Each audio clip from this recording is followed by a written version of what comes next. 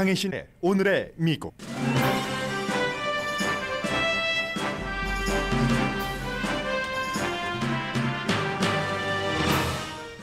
지난 9월 일자리를 그만둔 사람이 440만 명이나 됩니다. 일주일 만에 팔리는 부동산 시장 이상 현상이 바이어에게 큰 위험을 주고 있다고 월스트리트저널이 보도했습니다. 트럼프 전 대통령이 의사당 폭동 사건에 관한 비밀 지키기 전술을 펼쳤고 일단 성공했습니다. 항소 법원은 백악관 기록을 민주당이 주도하는 의회 조사팀에 넘겨주는 것 일단 연기했습니다.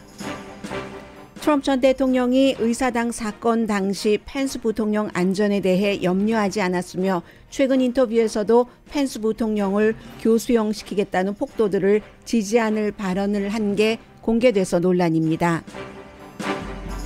콜로라도 주지사가 모든 성인에게 부스터샷 접종 행정명령을 내렸습니다.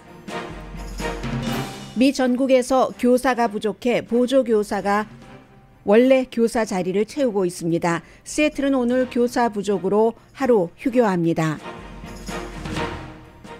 전기자동차 제조회사 리비안 주식이 주식시장 상장 이틀 만에 주당 120달러를 넘었습니다. 현재로서는 리비안이 차기 테슬라가 된다는 게 투자가들의 판단입니다. 오늘 끝나는 기후변화 회의 조약에서 미국은 탄광업을 중단하는 조약에 서명하지 않아 비난받고 있습니다. 사회복지 지출안과 균형을 맞추려는 결정으로 보입니다. 여러분 안녕하십니까? 오늘의 미국 강희신입니다. 현 대통령과 이제 전 대통령이 모두 어, 지금 아주 어려운 고비들을 넘기고 있는데 기본적으로 뭐 현 대통령은 경제죠. 해서 9월 달에 일자리를 스스로 그만둔 사람이 440만 명이 된다는 보고서가 오늘 아침에 나왔습니다. 어, 그러면 지금 뭐 일자리가 너무 부족하다고 하는데 일부에서는 또 스스로 퀴트하는 겁니다. 일자리를 그만두는 굉장한 불균형이 있기 때문에 이것은 현직 대통령에게 대단한 도전입니다. 이 같은 불균형이 일어나는 데는 여러 가지 이유가 있겠죠. 가장 그 중심에는 당연히 그 팬데믹이 있고 팬데믹으로 코로나 바이러스 때문에 왜 사람들이 일하러 가지 않느냐 계속 많은 분들이 얘기를 하고 계시는데 여러 가지 사정이 있기 때문에 개개인마다 전부 다르고 그 다른 사정을 복합적으로 한 분이 여러 가지를 갖고 계시는 분들도 계시지만 기본적으로는 아직도 차일드 케어 시스템이 어, 코로나 바이러스 이전처럼 가동하고 있지 않기 때문에 그리고 코로나 바이러스 이후에 이제 가족들을 돌봐야 되는 그런 사람들이 있어서도 그렇고 또 뭐 더 많이 돈을 준다고 하니까 그곳으로 옮겨가시는 분들도 다니던 직장을 옮기는 경우가 그만두는 경우가 굉장히 많습니다. 주변에서도 많이 보실 거예요. 요즘은 뭐 시간당 평균 임금이 30달러를 넘었으니까요. 그래서 8월 달에도 어, 한 400 그 당시에는 430만 명, 9월 달에 440만 명이 스스로 그만뒀다. 그리고 물론 그분들이 다른 곳으로 간 그런 분들도 계시고요. 440만 명, 9월 달에 스스로 일자리를 퀴트한 사람, 이게 전체적인 일자리의 한 3% 정도 됩니다. 8월 달에는 2.9% 정도가 스스로 그만뒀기 때문에 이런 모든 문제를 그 대통령은 생각을 해야지 되는 거죠. 오늘 아침에 이제 대통령이 그 아시아 퍼스픽 경제협력체 리더들과 만났고 그리고 또 장관들과 만나서 기간 산업 안은 1조 2천억 달러짜리가 통과됐기 때문에 이것을 어떻게 집행할 것인가 하는 것을 의논을 했습니다. 월요일에 서명을 한다고 하죠. 그럼 월요일은 굉장히 뉴스적으로는 바쁜 날이네요. 시진핑 중국 국가주석과의 회담도 월요일로 잡혀 있는 것으로 현재로서는 나오고 있습니다. 그래서 지금 여러 가지 이 노동력의 불균형 형, 현상 또 인플레이션 같은 것을 해결하기 위해서 오늘 아침 이제 장관 미팅에서 나온 얘기가 관세도 철폐하면은 철폐를 해보고 노동력 이렇게 그만두는 사람도 있기 때문에 부족한 그 부분에 대해서는 이민으로 채워보는 방안 또 공급망도 좀 확장시키는 에너지 부분이 특히 이제 물가 인상에서의 문제잖아요. 여기에 대해선 며칠 전에 이미 한 주일 전에 닷새 전이군요. 에너지부 장관이 텔레비전 방송국에 나와서 얘기한 것처럼 전략적 비축률을 조금 푼다던가 해서 지금 미국의 현 대통령 바이든 대통령은 인플레이션, 이 물가 인상에 대한 안정을 하는 그 방안과 노동시장에서의 불균형을 어떻게 잡느냐. 뭐, 아, 지금 임시적일 것이다, 일시적일 것이다, 괜찮다, 괜찮다, 몇 개월 동안 해왔던 것을 지금은 조금 더 그 공개적으로도 심각하게 생각하고 해결책을 보여주려는 그런 모습을 바이든 대통령은 보이고 있습니다. 그리고 지금부터는 트럼프 전 대통령에 관해서 좀 말씀을 드리겠습니다.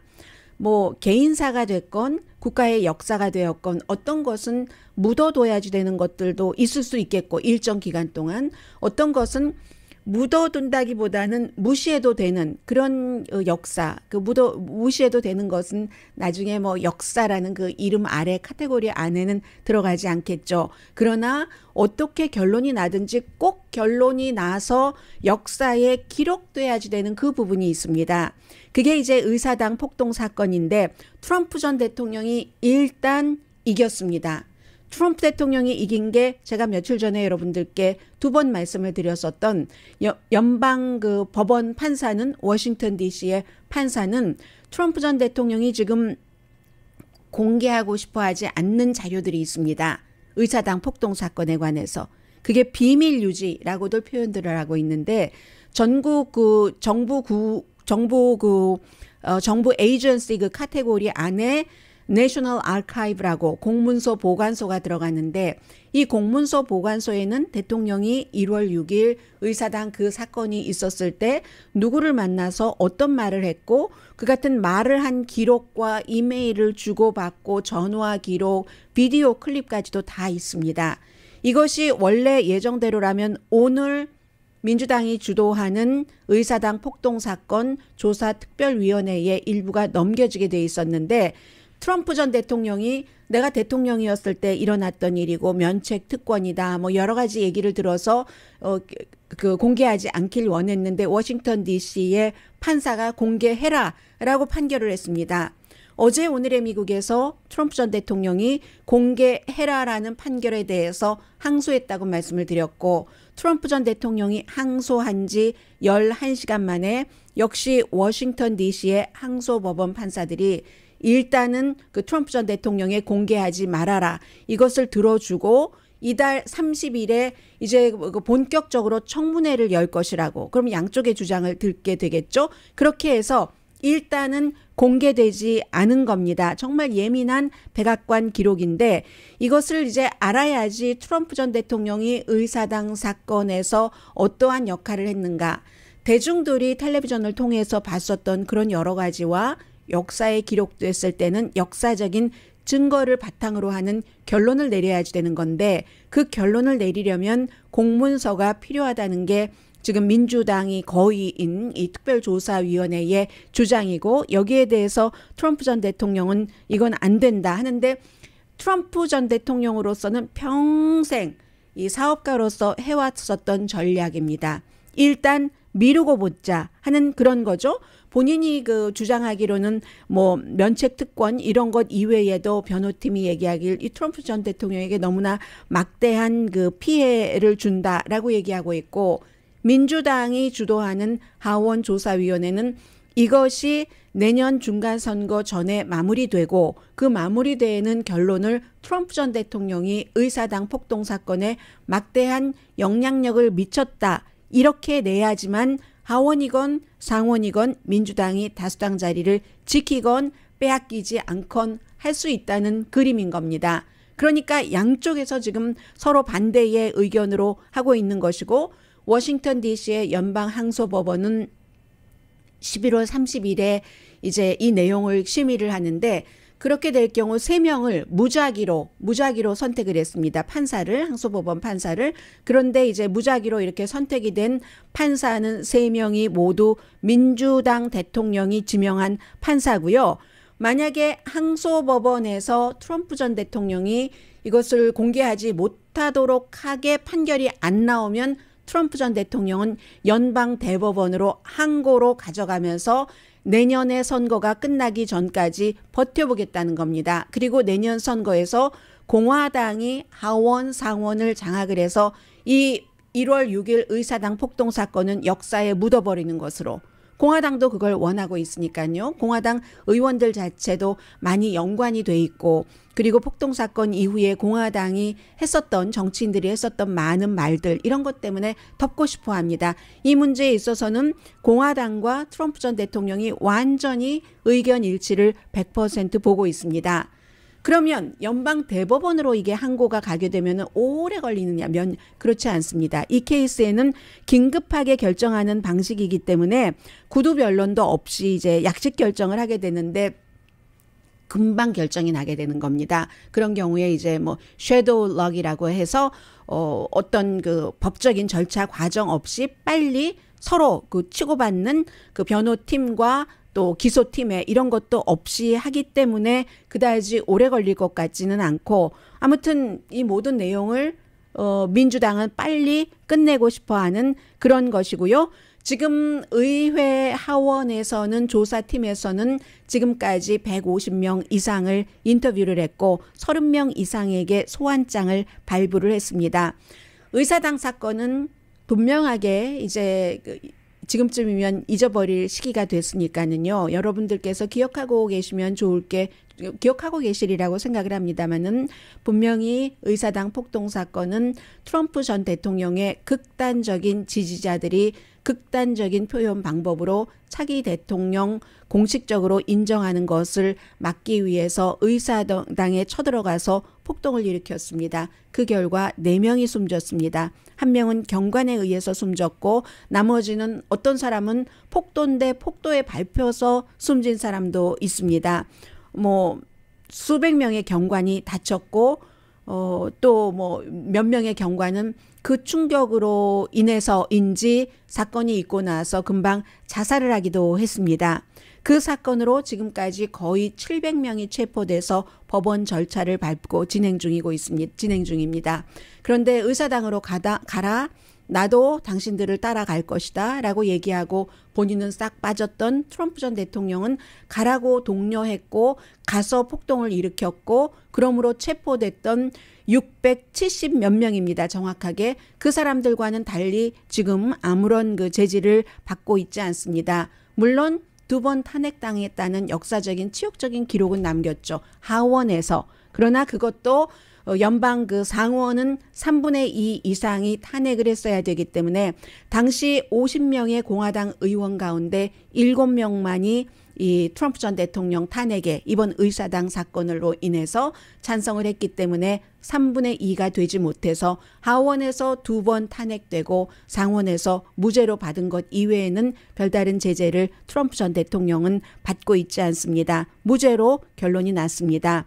어쨌든 트럼프 전 대통령이 의도했던지 의도하지 않았던지 발생한 그 폭동 사건으로 너무 많, 많은 사람들이 다치고 심리적으로 국가의 그 어떠한 그 크레딧이라고 할까요? 그것이 떨어진 것은 어 뭐 대단한 뭐 계산하기 힘든데 트럼프 전 대통령은 그 지연 전술을 쓰면서 내년 선거에서 공화당이 다수당이 돼서 이 모든 것에서 이제 자유로워지기를 원하는 것이고 그리고 이제 최근에 ABC 방송의 그 기자가 책을 하나 썼는데 여러분들께 전해드리지는 않았었습니다.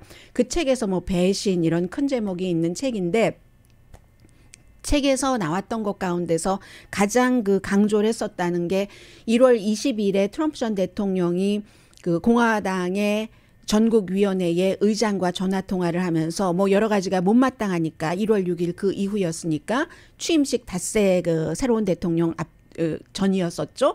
나는 공화당을 떠나겠다. 공화당을 떠나서 새로운 당을 만들겠다. 이렇게 주장을 했다는 게 책에 담겨 있는데 그랬더니 그, 그 로나 맥다니엘 그 공화당의 전국위원회의 의장이 당신은 그럴 수 없다. 왜냐하면 공화당이 그렇게 되면 완전히 망해버리고 말기 때문에 했더니 트럼프 전 대통령이 나도 알아.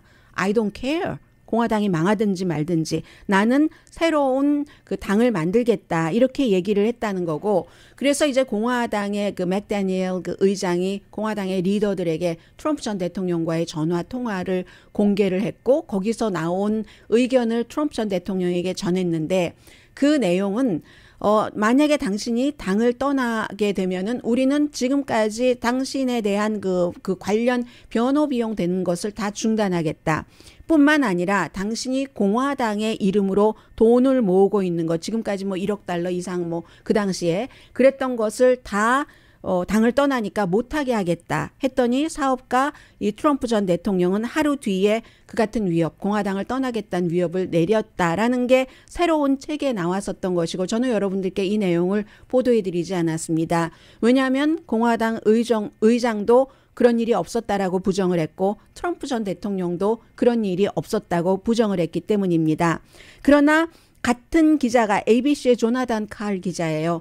3월 어, 18일에 마 알라고 그 트럼프 전 대통령이 지금 살고 있는 곳에서 인터뷰를 했습니다. 의사당 사건에 대해서 이 인터뷰 내용은 굉장히 그 논란인 편인데요. 그 당시에 그 마이크 펜스 부통령이 굉장히 위험했는데 당신 그 펜스 부통령이 그 위험했었던 그 같은 것에 대해서 그 당시에 생각을 했느냐라고 물어봤더니 트럼프 전 대통령이 no라고 답을 합니다. no라고 답을 하면서 그는 그날 안전했고 나는 안전하다고 믿었고 그게 말이 되느냐? 이게 뭐 부정선거인데 부정선거로 당선된 사람을 대통령으로 인증한다는 것은 상식이 아니다. 이렇게 그 말을 했거든요. 그런데 언론은 특히 이 펜스 부통령의 안전에 대해서 염려하지 않았고 그가 안전하다고 보고를 받고 있었다. 그런데 일반인들이 본 마이크 펜스 부통령 막 도망치는 장면이 있었었죠. 지금 이런 그 인터뷰 내용도 육성으로 나오고 있습니다. No, I thought he was well protected, and I, I had heard that he was in good shape. Mm-hmm. No, because uh, I had heard he was in very good shape. But, but no. you I heard think those it- chants. That was terrible. I mean, those, you know, the 뭐 교수형에 처한다 이런 챈트까지 했다고 하, 하는데도 Because it's it's common sense, John. It's common sense that you're supposed to protect. How can you, common sense라는 상식적으로 생각할 때 어떻게 어, 그렇게 바이든을 대통령으로서 할 수가 있겠느냐 이런 것이었고 뭐 사람들이 교수형에 처한다라고 하는데 그런데도 부통령이니까 그 국가의 승계 서열 1위니까는요 대통령 다음에는 그 안전을 뭐 염려하기 위해서 염려를 했다던가 염려하면서 어떠한 조치를 취하지 않았는가 하는 것이 기자의 그 질문이었는데 이 대통령은 그 당시에 뭐라고 얘기를 했냐면 작게 저는 여기로 들었습니다마는 그 폭도들이 폭도라고 하지 않았어요. 폭도들이 어 얼마나 분노했는지, 얼마나 분노했는지, 뭐, 마치 그러니까 그 폭도들을, 어, 지지하는 것 같은 발언, well 하면서 the people were 굉장히 화났었다라는 얘기를 한 이제 전직 대통령 그리고 이 같은 말을 하고 있는 어떻게 보면은 아이 트럼프 대통령이 떠난 지가 언젠데 아직도 트럼프 대통령에 관한 뉴스가 나와라고 얘기하실 수 있는 분들이 계시지만 굉장히 중요한 문제입니다. 이 내용은 아직 끝나지 않았고 이 케이스가 내년에 어떤 당이 어, 정권을 잡아서 어떤 형태로 나아가느냐에 대해서 결정을 할 수 있는 이슈이기 때문이고 또 하나는 아니 지도자가 국민을 걱정을 해야지 되는데 국민이 나라를 어, 걱정하는 이런 일들이 아직도 이어지고 있습니다.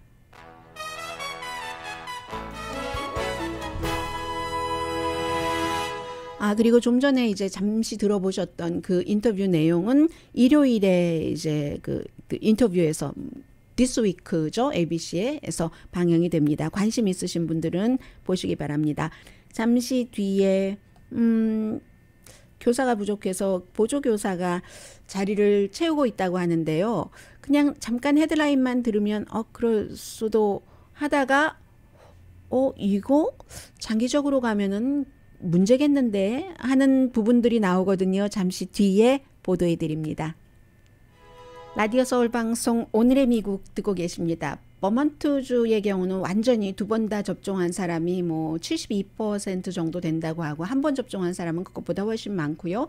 그러면 미국 평균보다 굉장히 높은데도 불구하고 최근에 어, 바이러스 감염자들이 늘어나고 있습니다. 12번째로 쉬운 게 주에서 많거든요. 그래서 사람들이 이 코로나 바이러스에 대해서 어, 왜 그러지? 왜 그러지? 뭐 여러 가지가 너무 그 어, 요소가 발생 요인이 많기 때문에 그런 거죠. 어떻게 보면은 성공의 희생이다. 이런 표현을 하시는 분들도 계시는데 코로나 바이러스가 버먼트주 뭐 인구가 많지 않으니까는요. 뭐 60만 명 조금 넘으니까 70 65만 명에서 70만 명 사이 그 정도 되니까 뭐 엘라스카랑 비슷하죠. 해서 그렇기 때문에 처음부터 굉장히 뭐 이 코로나 바이러스에 대한 인식을 좀 확실하게 했었던 그런 주이고 모먼트 주가 기후 변화에 대해서도 대단하게 어떤 그 행동을 하고 있는 그런 주잖아요. 해서 자연 면역이 너무 없다는 겁니다. 에이시아에서 그러니까 한국이라든가 싱가포르라든가 이런 곳의 현상과 비슷한 거죠. 게다 대고 이제 어뭐 백신 접종률도 높고 춥죠. 버먼트는 어, 그렇기 때문에 동북부니까 추우니까 겨울이 되면서 또 가족적인 동네에서 사람들 다 알고 하니까 자주 만나고 이런 형태로 인해서 실내에서 많이 만나니까 이렇게 접, 어, 감염률이 많아진다는 것 말씀드리고요. 콜로라도주가 모든 성인에게 부스터샷 접종을 해라 하는 그 주지사의 행정명령이 나왔습니다. 민주당 주지사고 콜로라도주도 최근에 이 감염률이 높아지고 있기 때문에 이제 주지사가 이런 결정을 내렸는데 18살 이상에게 모두 그러면 존슨 앤 존슨과 똑같은 거죠. 파이저사는 이번 주에 우리도 18살 이상에게 모두 접종을 부스터샷 접종해 달라고 식품의약국에 지금 신청을 해놨고 모더나도 이제 신청을 할 예정이고 이 두 개의 백신은 65세 이상과 뭐 어, 위험한 사람이라든가 여러 가지 이렇게 좀 조건을 만들어 놨는데 이 부분에 대해서 부스터샷 접종을 모든 연령에게 해야 된다 하는 것을 지지하는 사람들이 현재로서는 그 언론에 적어도 드러나기에는 반대하는 사람보다 많아 보이긴 합니다.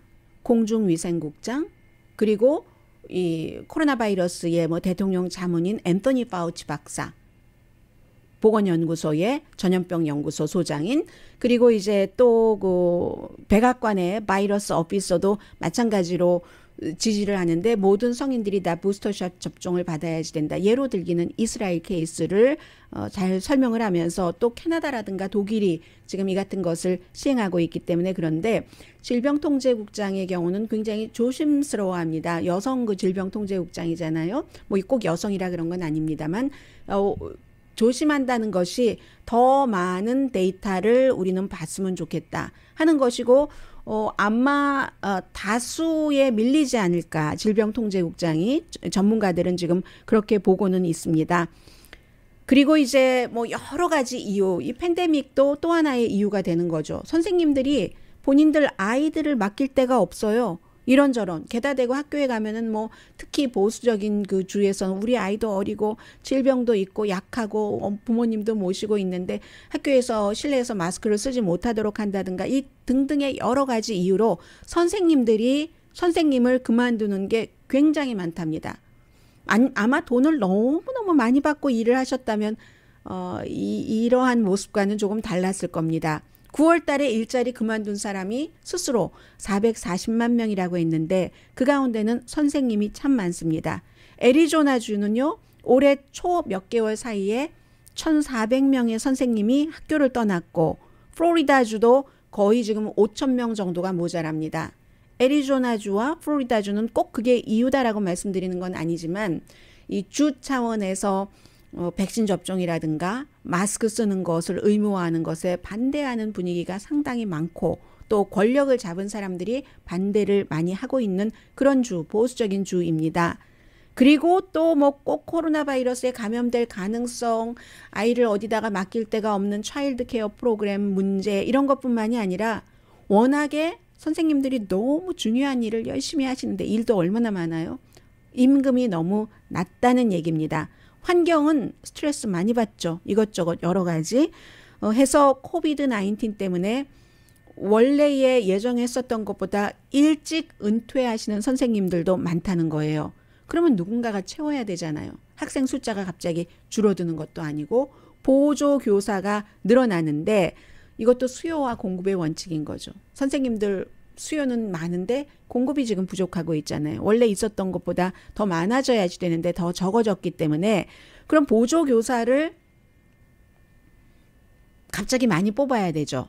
표준을 낮출 수밖에 없다는 겁니다. 일부 주에서는 보조 교사는 대학 졸업장이 없어도 된다. 예를 들어서요. 미주리와 오레곤주의 어떤 교육구가 그렇습니다.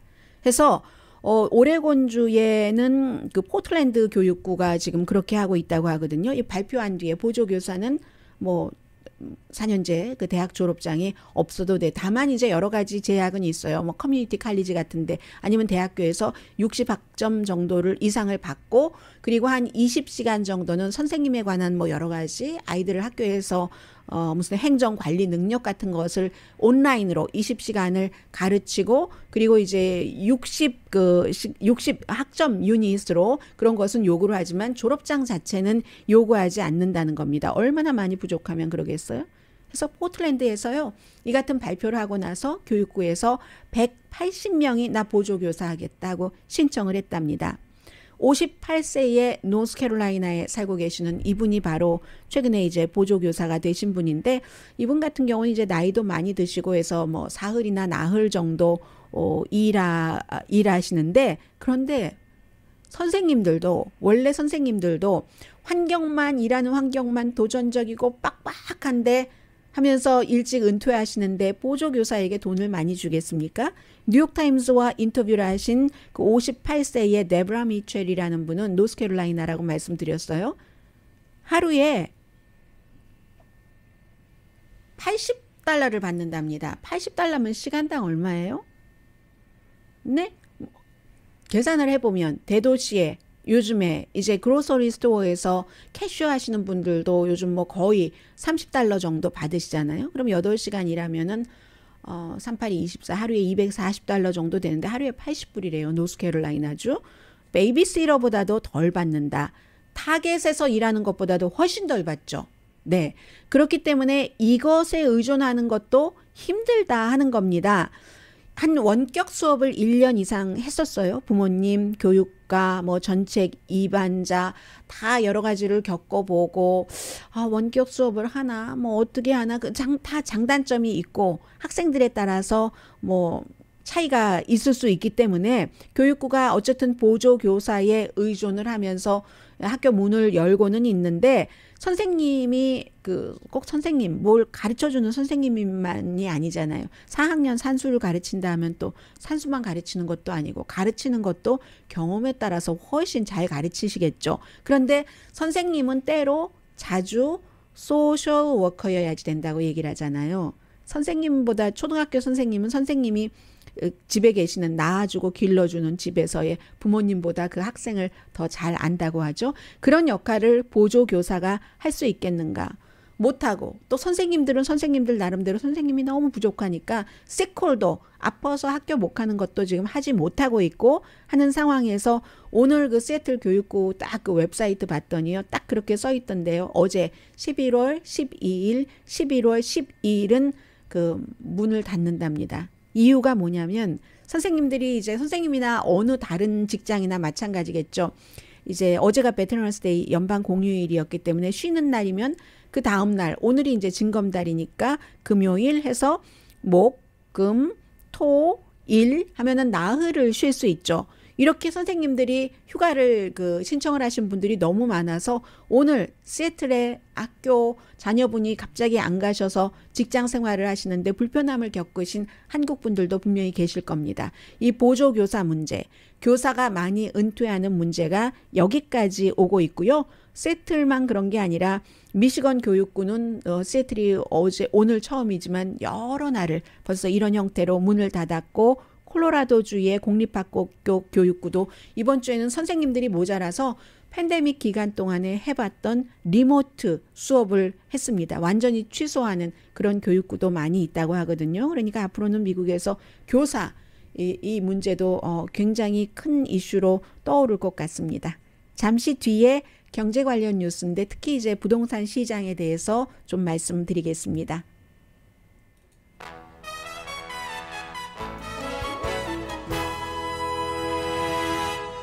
라디오 서울 방송 오늘의 미국 듣고 계십니다. 어제 말씀드렸었던 뭐 추세다 하면서 말씀을 드렸었어요. 뭐 이런 변화가 또 있을 수도 있겠지만 그 리비안이라는 전기 트럭을 만드는 회사가 주식에 상장할 때 상장가가 첫날 뭐 78달러 정도 되다가 금방 120달러 이상으로 올랐습니다. 공모가가 이제 78달러였어요. 그래서 어, 제가 어제 말씀드릴 때까지만 하더라도 이 가치가 10억, 860억 달러 정도 될 것이다 했는데 지금 천 달, 천억 달러가 넘었습니다.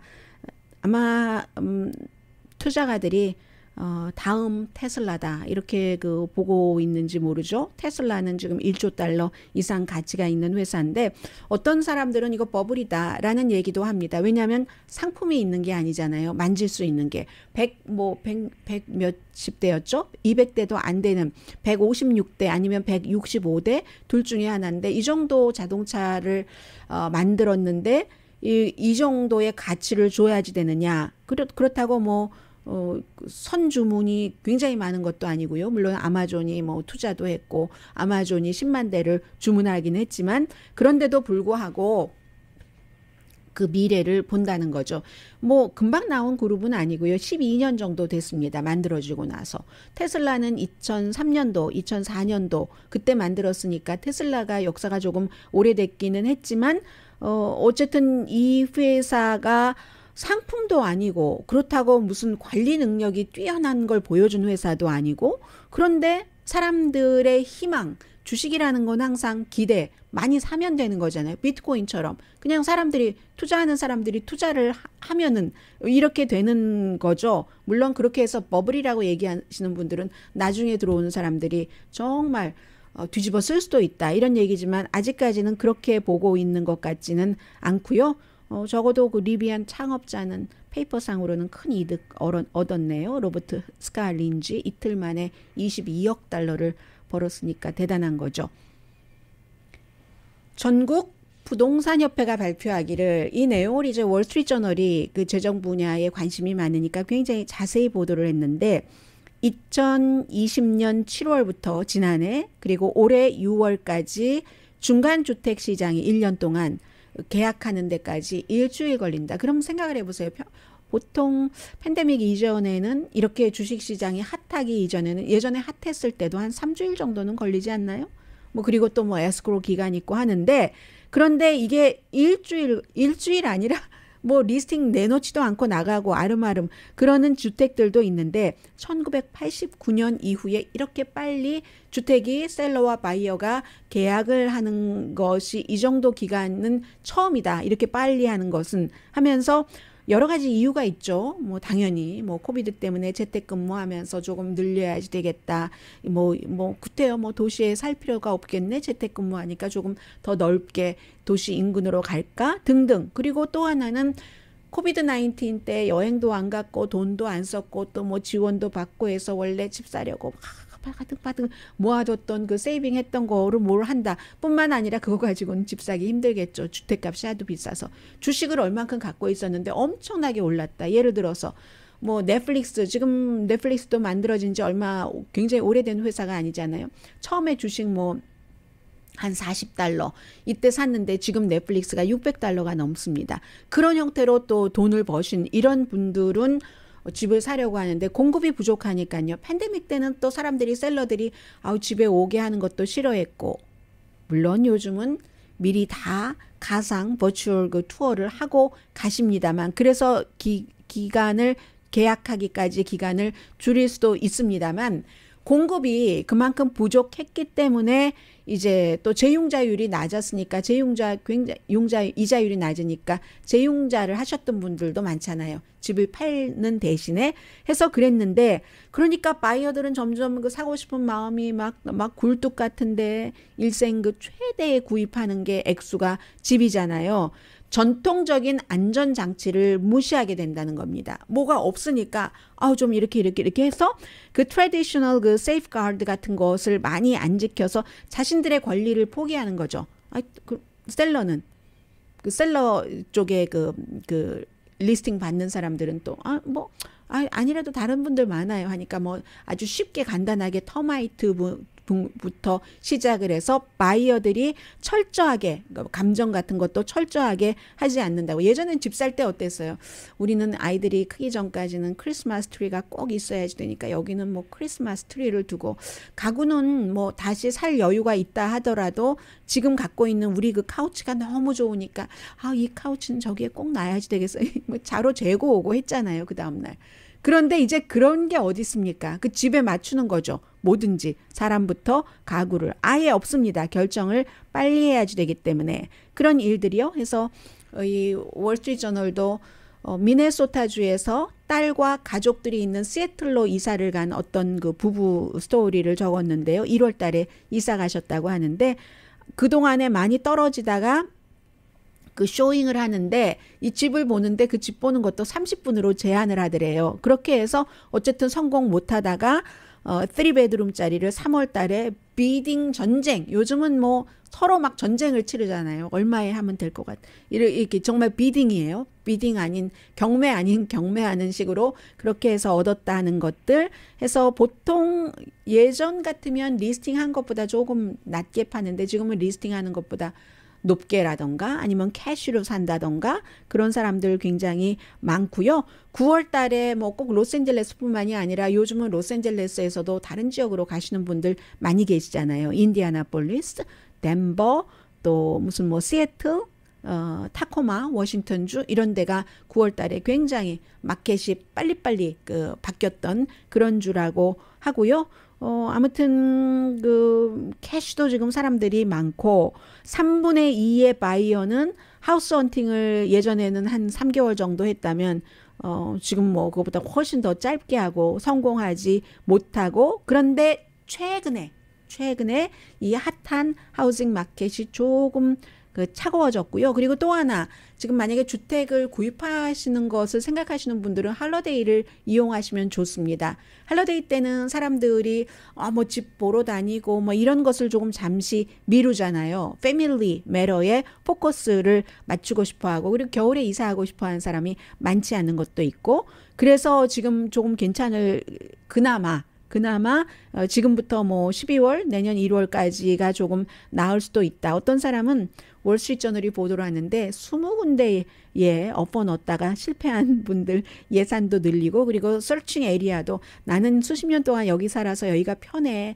어, 햇살도 여긴 예쁜 것 같아. 이런 것 말고 다른 데까지 이렇게 넓히고 그렇게 해서 백업 그 생각을 하셔야지 된다. 굉장히 정신적인 도전이죠. 주택을 구입한다는 것은 어 그렇지 않으면 뭐 지금 조금 부족하더라도 살지 아니면 기간이 6개월이 될지 1년이 될지 그렇게 해야지 되는 이 상황을 월스트리트 저널이 보도를 했습니다.